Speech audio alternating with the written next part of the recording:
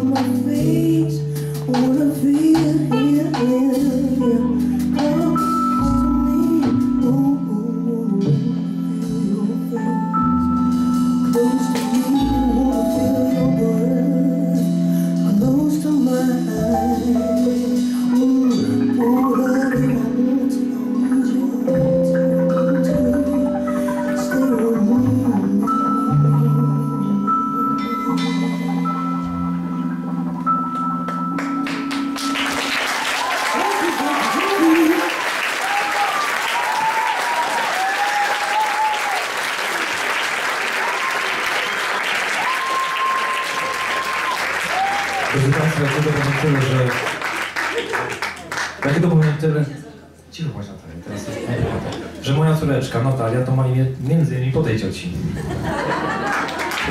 Bardzo mi miło. Mój dziadek dał mi psa. Natalia Lubrana, Wysu Zamknięte, drodzy Państwo. Zapamiętajcie sobie to imię przynajmniej.